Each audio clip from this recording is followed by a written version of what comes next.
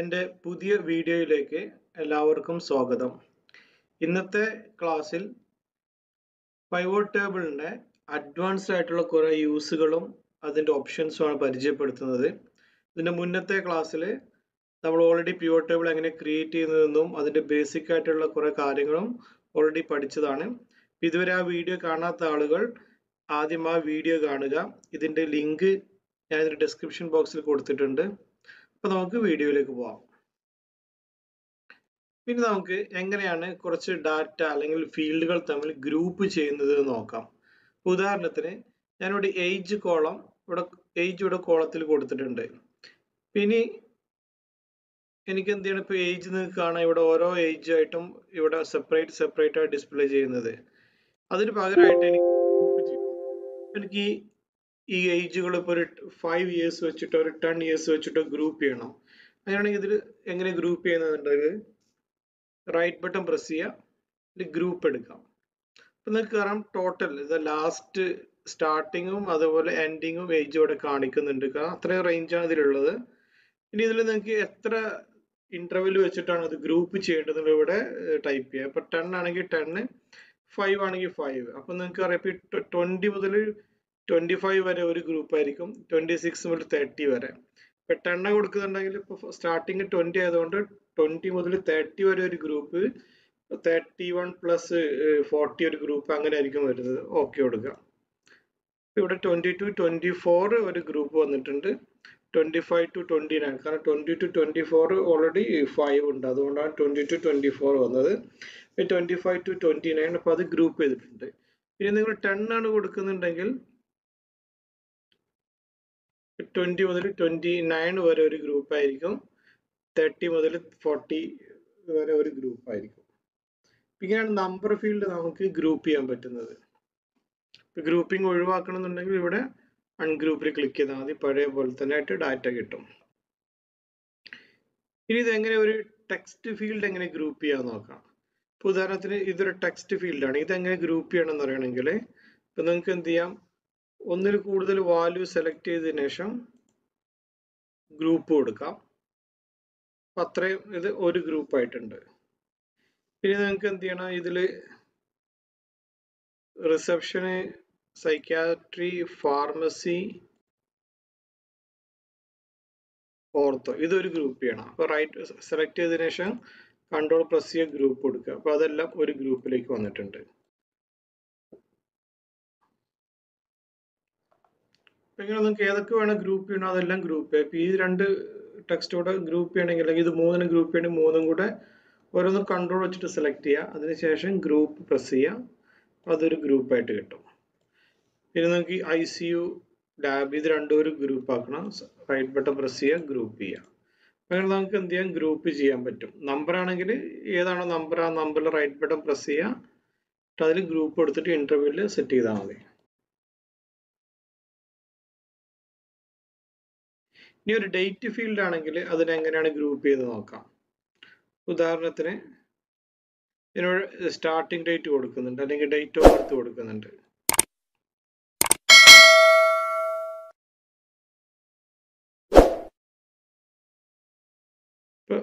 നമ്മൾ ഡേറ്റ് ഇവിടെ കോപ്പി ചെയ്യുന്ന സമയത്ത് തന്നെ മൂന്ന് ഫീൽഡ് കോപ്പി ചെയ്യാം. ഇയർ ക്വാർട്ടർ പിന്നെ അതിന്റെ ഡേറ്റ് ഓഫ് ബർത്ത് ഇപ്പം ഞാനിതിൽ ക്വാർട്ടർ റിമൂവ് ചെയ്യുന്നു. നിങ്ങൾക്ക് കാണാം ഇവിടെ ഓരോ ഇയർ ആയിട്ടും ഇവിടെ ഡിസ്പ്ലേ ചെയ്യുന്നുണ്ട്. ഇനി എങ്ങനെ ഇത് ഗ്രൂപ്പ് ചെയ്യാൻ നോക്കാം.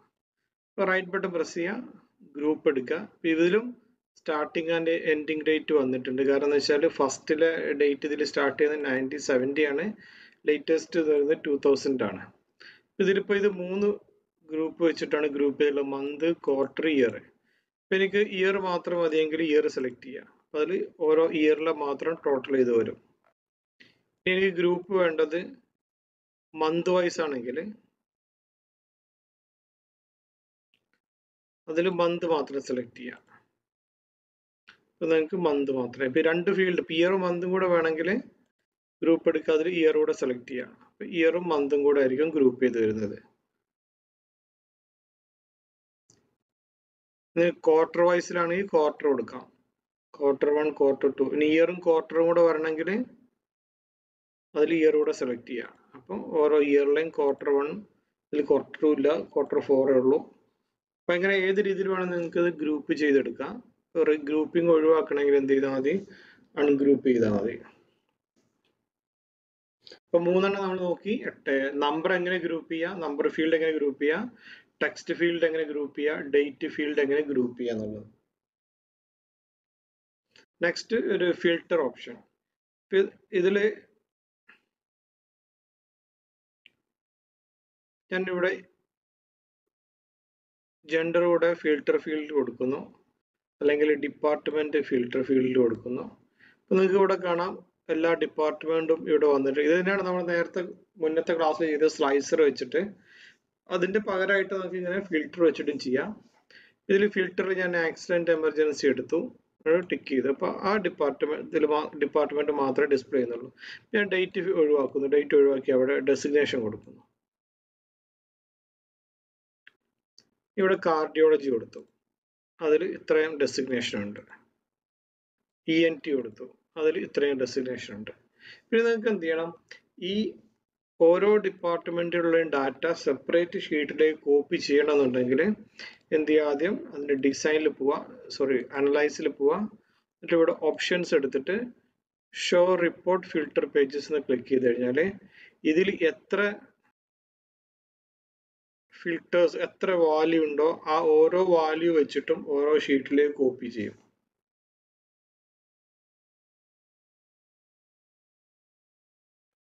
ഇപ്പം നിങ്ങൾക്ക് കാണാം ഓരോ അതിൽ ഡിപ്പാർട്ട്മെന്റിലെ ഓരോ വാല്യൂവും ഓരോ ഷീറ്റിലേക്ക് ഓട്ടോമാറ്റിക് ആയിട്ട് കോപ്പി ചെയ്ത് വന്നിട്ടുണ്ട്.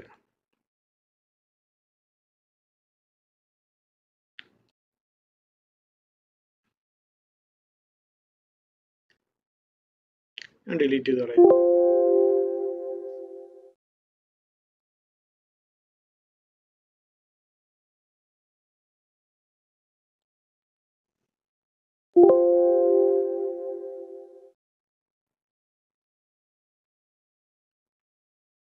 ഞങ്ങൾ ഫിൽട്ടർ യൂസ് ചെയ്യുന്നത്. ഫിൽട്ടറും അതുപോലെ ഓരോന്നായിട്ട് കാണണമെങ്കിൽ എന്ത് ചെയ്യാം? നിങ്ങൾക്ക് filter show filter page use ചെയ്യാവുന്നതാണ്. നെക്സ്റ്റ് നമുക്ക് എങ്ങനെ ഫിൽട്ടർ വാല്യൂ ഫിൽട്ടർ എങ്ങനെ ചെയ്യാൻ നോക്കാം? ഉദാഹരണത്തിന്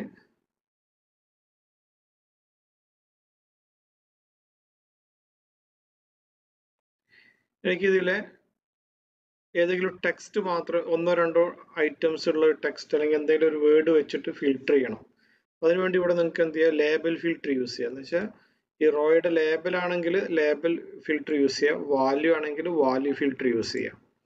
ഇവിടെ എനിക്ക് ഏതെങ്കിലും ഒരു വേർഡ് ഒരു വേർഡ് മാത്രമുള്ള ലേബലിൽ വേണമെങ്കിൽ ലേബലിൽ നിങ്ങൾക്ക് ഏത് വേണമെങ്കിലും യൂസ് ചെയ്യാം. ഇക്വേഷൻ ഏതാണ്? ഞാനിവിടെ കണ്ടെയ്ൻസ് ഇ എന്ന് ടൈപ്പ് ചെയ്യുന്നു. അപ്പൊ ഇ എന്ന് ഈ റോ വാല്യൂവിൽ എവിടെയെങ്കിലും ഉണ്ടെങ്കിൽ അത് മാത്രം ഫിൽട്ടർ ചെയ്തെടുക്കും.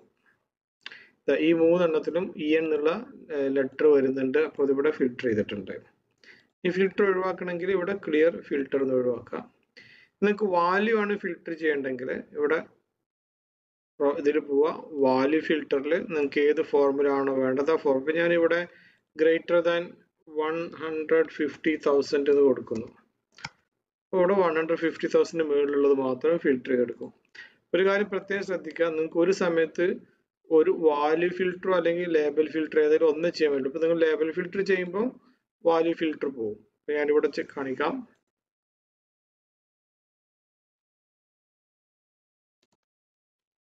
ഇപ്പോൾ വാല്യൂ ഫിൽട്ടർ പോയിട്ടുണ്ട്. ഇനി ഇത് രണ്ടും കൂടെ എനേബിൾ ചെയ്യണമെങ്കിൽ ഇവിടെ പ്യുവർ ടേബിൾ ഓപ്ഷൻസ് എടുക്കുക. ടോട്ടൽ ഫിൽട്ടർ നിലയിൽ allow multiple filter per field എന്ന് സെലക്ട് ചെയ്യാം. ഇനി നിങ്ങൾക്ക് എന്ത് ചെയ്യാം? രണ്ട് ഇത് വേണമെങ്കിൽ ഒരു സമയത്ത് തന്നെ അപ്ലൈ ചെയ്യാം. അപ്പൊ രണ്ടും ചെയ്യാൻ പറ്റും. ഞാനിതിൽ greater than one hundred fifty thousand നടത്തും കണ്ടില്ലേ? ഇപ്പൊ ഇവിടെ ഇത് ഇ എൻ ഉള്ളത് മാത്രമേ വന്നിട്ടുള്ളൂ. അതുപോലെ അതിൽ greater than one fifty thousand മാത്രമേ വന്നിട്ടുള്ളൂ. ഇതാണ് ഫിൽട്ടർ ഓപ്ഷൻ ഈ ഫിൽട്ടർ ഓപ്ഷൻ എന്ന് പറഞ്ഞാൽ അതിന്റെ വാല്യൂ അല്ലെങ്കിൽ നമ്മൾ വാല്യൂ അല്ലെങ്കിൽ ടെക്സ്റ്റ് അത് ഫിൽട്ടർ ചെയ്യാൻ വേണ്ടിയിട്ട്. നെക്സ്റ്റ് നിങ്ങൾക്ക് ഇതിന്റെ ലേഔട്ടുകൾ ചേഞ്ച് ചെയ്യാം. ലേഔട്ട് ചേഞ്ച് ചെയ്യാന്ന് വെച്ചാൽ ഞാനിവിടെ ഒരു ഡെസിഗ്നേഷനും കൂടെ ഇവിടെ കൊടുക്കുന്നുണ്ട്. ഇപ്പൊ ഈ രീതിയിലാണ് ഇപ്പൊ ഈ റിപ്പോർട്ട് വന്നിട്ടുള്ളത്. ഇപ്പൊ നിങ്ങൾക്ക് ഈ റിപ്പോർട്ടിന്റെ ലേഔട്ട് ചേഞ്ച് ചെയ്യണമെന്നുണ്ടെങ്കിൽ എന്ത് ചെയ്യുക ഇവിടെ ഡിസൈനിൽ പോവാം. റിപ്പോർട്ട് ലേഔട്ട് എടുക്കുക എല്ലാം ചെക്ക് ചെയ്ത് ഷോ ഇൻ കോമ്പാക്ട് ഫോം ഇതാണ് ഇപ്പൊ ഉള്ളത് ഇവിടെ. ഷോ ഇൻ ഔട്ട്ലൈൻ ഫോർമാറ്റ് അപ്പൊ എന്ത് ചെയ്തിട്ടുണ്ട്? നേരത്തെ ഈ ഹെഡിങ് ഇവിടെ ഇരുന്നുണ്ടായിരുന്നത് അത് ഈ സൈഡിലേക്ക് മാറിയിട്ടുണ്ട്. Next show in tabular format അപ്പൊ ഈ ഈ രീതിയിൽ കാണാം. എന്ന് വെച്ചാൽ ജസ്റ്റ് ആ ഡിസ്പ്ലേയുടെ ഇത് ഒഴിവാക്കാൻ വേണ്ടി മാത്രമാണ് നമ്മളിത് യൂസ് ചെയ്യുന്നത്.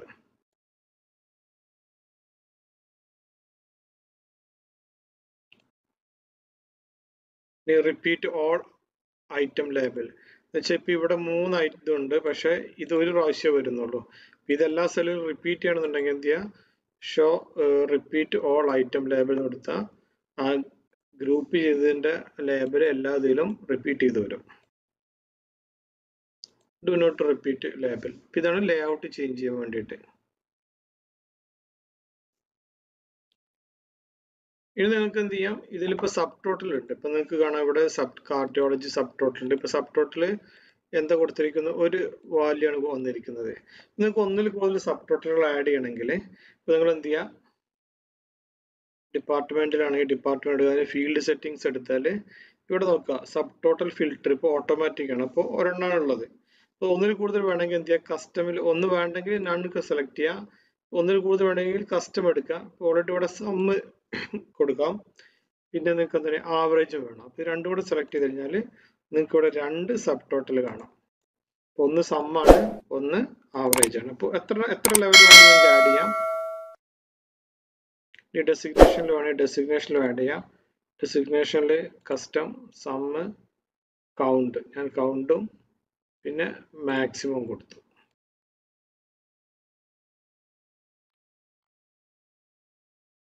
ഇവിടെ അതിൽ താഴെയായിട്ട് വന്നിട്ടുണ്ട്. കാരണം അത് നിങ്ങൾക്ക് എങ്ങനെ വേണമെങ്കിലും അത് ആഡ് ചെയ്യാവുന്നതാണ്. അപ്പൊ അത് ഒഴിവാക്കണമെന്നുണ്ടെങ്കിൽ എന്ത് ചെയ്താൽ മതി? ഇത് ഓട്ടോമാറ്റിക്കലി കൊടുക്കുക. അത് ഓട്ടോമാറ്റിക് വരും ഇത് ഒഴിവാക്കണമെങ്കിൽ ഡെസിഗ്നേഷൻ എടുത്തു അതിൽ ഓട്ടോമാറ്റിക് കൊടുത്തു. അപ്പോൾ ഗ്രാൻഡ് ടോട്ടൽ ഒരെണ്ണത്തിൽ വരുന്നുള്ളൂ ഇനി നിങ്ങൾ ശ്രദ്ധിക്കുക ഇപ്പം ഇവിടെ നിങ്ങൾക്ക് വാല്യൂ ഇപ്പം ഞാൻ സെറ്റ് ചെയ്തിട്ടുള്ളത് എന്താണ്? ഇവിടെ സമ്മർ സമ്മാണ് സെറ്റ് ചെയ്തിട്ടുള്ളത്. ഇപ്പം ഇത് ഈ വാല്യൂസ് ഇപ്പം നേരത്തെ നമ്മൾ നോക്കിയത് ഗ്രാൻഡ് ടോട്ടൽ ചേഞ്ച് ചെയ്യാൻ. ഇനി ഇത് നമുക്ക് എന്ത് ചെയ്യണം? മിനിമോ മാക്സിമോ ആവറേജ് ഒക്കെ ചെയ്യണമെങ്കിൽ ഇവിടെ നിങ്ങൾക്ക് എന്ത് ചെയ്യാം? ഇവിടെ അല്ല സെലക്ട് ചെയ്യുക. കൗണ്ട് സെലക്ട് ചെയ്യുക. ആവറേജ് സെലക്ട് ഇപ്പോൾ ആവറേജ് ആണെങ്കിൽ ഇതിൽ ആവറേജ് വാല്യൂ ഇവിടെ ഡിസ്പ്ലേ ചെയ്യും. ഇനി കൗണ്ട് ആണ് കൊടുക്കുന്നുണ്ടെങ്കിൽ കൗണ്ട് എത്ര റെക്കോർഡ് അതിൽ അത് മാച്ച് ചെയ്യുന്ന എത്ര റെക്കോർഡ് ഉണ്ട് എന്നുള്ളത്. ഇനി മിനിമം ആണെങ്കിൽ മിനിമം കൂടുതൽ ഓപ്ഷൻസ് നിങ്ങൾക്ക് ഇത് വേണമെങ്കിൽ ഏത് വേണമെങ്കിലും സെലക്ട് ചെയ്യാം അതുപോലെ ഡിസ്പ്ലേ ചെയ്യുന്നതായിരിക്കും. ഇപ്പം സമ്മന് വേണമെങ്കിൽ ക്ലിക്ക് ചെയ്തിട്ട് സം ചെയ്യാം ഇനി ഇവിടെ അടുത്തത് show values show values no calculation ഉള്ളത്. നിങ്ങൾക്ക് ഇതിൽ ഏതെങ്കിലും ഓപ്ഷൻ ഉപയോഗിക്കാം. അപ്പോൾ ഉദാഹരണത്തിന് നിങ്ങൾക്ക് ഇവിടെ ഈ ഓരോന്നും ഈ ടോട്ടലിന്റെ എത്ര പെർസെന്റേജ് ആണെന്ന് വരണം അങ്ങനെയാണെങ്കിൽ എന്ത് ചെയ്യുക? സെലക്ട് ചെയ്യുക. Show value percentage of grand total എന്ന് കൊടുക്കുക. ഇവിടെ ഇത് ഗ്രാൻഡ് ടോട്ടലിന്റെ എത്ര പെർസെന്റേജ് ആണെന്നാണ് ഇവിടെ വരുന്നത്. ഇപ്പൊ ഉദാഹരണത്തിന് ഡെസ്റ്റിനേഷൻ എടുത്ത് കളയുന്നു. ഇത് ടോട്ടൽ ഹൺഡ്രഡ് പെർസെന്റേജ് ഉള്ളത്. അതിന്റെ എത്ര പെർസെന്റേജ് വാല്യൂ ഇവിടെ ഉണ്ട് എന്നുള്ളത്. ഇപ്പോൾ ഒരെണ്ണം കൂടെ ഞാൻ ഒരു കാര്യം ചെയ്യാം. നമുക്ക് സാലറി ഒന്നും കൂടെ ആഡ് ചെയ്യാം. അത് സം വെച്ചിട്ട്. ഇപ്പോൾ റീ ഓർഡർ ചെയ്യുകയാണെങ്കിൽ അതിലേക്ക് മൂവ് ചെയ്താൽ മതി. ഇപ്പം ഇവിടെ വാല്യൂ ഉണ്ട്. ഇവിടെ അതിന്റെ എത്ര പെർസെന്റേജ് ആണെന്നുള്ളത് വെച്ചാൽ ഈ one million six hundred seventy seven thousand seven hundred eighty ഫൈവിന്റെ എത്ര പെർസെന്റേജ് ആണ് ടു ഹൺഡ്രഡ് തേർട്ടി എന്നുള്ളത് ഇവിടെ ഓൾറെഡി വന്നിട്ടുണ്ട്. അപ്പോൾ നിങ്ങൾക്ക് ഏത് ഫംഗ്ഷൻ വേണമെങ്കിലും ഇവിടെ ഉപയോഗിക്കാം. ഇനി ഇവിടെ കോളം ടോട്ടൽ അതിൽ മാറ്റമൊന്നുമില്ല നിങ്ങൾക്ക് ഇതിൽ ഏത് വേണമെങ്കിലും നിങ്ങൾക്ക് ഉപയോഗിച്ചിട്ട് നിങ്ങൾക്ക് ഇഷ്ടമുള്ള രീതിയിലേക്ക് ഫോർമുല ചേഞ്ച് ചെയ്തെടുക്കാം. ഇനി ഇതിലെങ്ങനെ ഒരു കാൽക്കുലേറ്റ് ഫീൽഡ് നമുക്ക് ആഡ് ചെയ്യാം? എന്ന് വെച്ചാൽ നമുക്കൊരു ഫോർമുല വെച്ചിട്ട് ഒരു ന്യൂ ഫീൽഡ് എങ്ങനെ ആഡ് ചെയ്യാം നോക്കാം. അപ്പം അതിനെന്ത് ചെയ്യാം? ഇപ്പം എനിക്കിവിടെ ഒരു ആനുവൽ സാലറി അല്ലെങ്കിൽ ഒരു ക്വാർട്ടർ സാലറി ഒക്കെ കിട്ടണം. അപ്പം എന്ത് ചെയ്യാം? നിങ്ങൾക്ക് ഇവിടെ അനലൈസ് എടുക്കുക. അതിൽ ഫീൽഡ് ആൻഡ് ഐറ്റംസിൽ കാൽക്കുലേറ്റഡ് ഫീൽഡ് എടുക്കുക. ഇവിടെ നെയിം കൊടുക്കാം. നിങ്ങൾക്ക് ഇപ്പോൾ ആനുവൽ സാലറി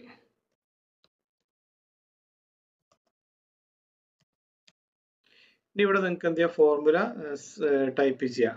ഇപ്പം എനിക്ക് വേണ്ടത് സാലറി ഡബിൾ ക്ലിക്ക് ചെയ്തപ്പോൾ സാലറി ഇവിടെ വന്നു. മൾട്ടിപ്പിൾ ബൈ ട്വൽവ് ആഡ് ചെയ്യാം. ഓക്കെ ഇപ്പം നിങ്ങൾക്ക് കാണാം ഇവിടെ ആനുവൽ സാലറി വന്നിട്ടുണ്ട്. ഇതിന്റെ ഇത് ഈ സെൽ മൾട്ടിപ്പിൾ ബൈ ട്വൽവ് ആണ് വന്നിട്ടുള്ളത്. പിന്നെ നിങ്ങൾക്ക് എന്ത് ചെയ്യണം? അതിന്റെ ഇത് ചേഞ്ച് ചെയ്യണമെങ്കിൽ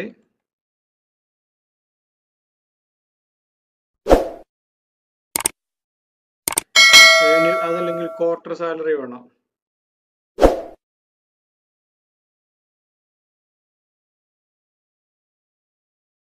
ഇവിടെ സാലറി ഇന്റു ത്രീ കൊടുക്കാം. ഇവിടെ നമുക്ക് പേര് മാറ്റാം. ക്വാർട്ടർ സാലറി നിങ്ങൾക്ക് ക്വാർട്ടർലി സാലറി ഇവിടെ വരുന്നതാണ് ഇങ്ങനെ നമുക്ക് ഏത് രീതിയിലുള്ള കാൽക്കുലേറ്റഡ് ഫീൽഡ് നിങ്ങൾക്ക് ആഡ് ചെയ്യാവുന്നതാണ്?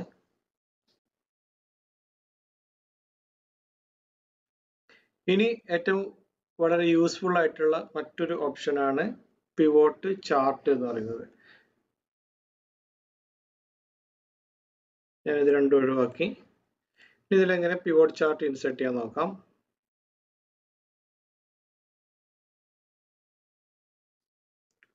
ഇവിടെ പിവോട്ട് ചാർട്ട് ഉണ്ട് പിവോട്ട് ചാർട്ടിൽ ക്ലിക്ക് ചെയ്യുക.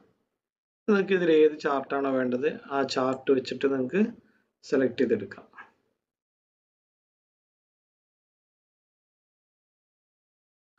ഇതൊക്കെ വളരെ യൂസ്ഫുൾ ആവുന്നതാണ്. ഇപ്പൊ ഇതിൽ ഞാൻ ഒരു സ്ലൈസർ ഇൻസേർട്ട് ചെയ്യാണ്. ഇതിൽ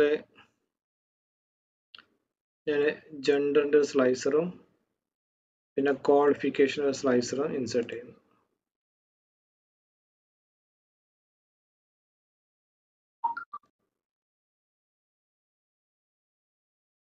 പിന്നെ ഇതിൽ മെയിൽ മാത്രം ക്ലിക്ക് ചെയ്ത് കണ്ടില്ല? അപ്പം മെയിലിൽ ഈ ഇവിടെ ഡാറ്റ ചേഞ്ച് ആയി. ഓട്ടോമാറ്റിക് ആയിട്ട് ഈ ചാർട്ടും ചേഞ്ച് ആയിട്ടുണ്ട്. ഇപ്പോൾ ഫീമെയിൽ ക്ലിക്ക് ചെയ്തു അതിൽ മാത്രം ഇപ്പോൾ കണ്ടില്ല ഓട്ടോമാറ്റിക് ആയിട്ട് ഇവിടെ ചേഞ്ച് ആയി. ഇനി അതിൽ തന്നെ ബാച്ചിലർ ഡിഗ്രി മാത്രം സെലക്ട് ചെയ്യണം അപ്പോൾ ബാച്ചിലർ ഡിഗ്രി മാത്രമുള്ള ആളുകളുടെ മാത്രം ഇവിടെ ഫിൽട്ടർ ആയിട്ടുണ്ട്.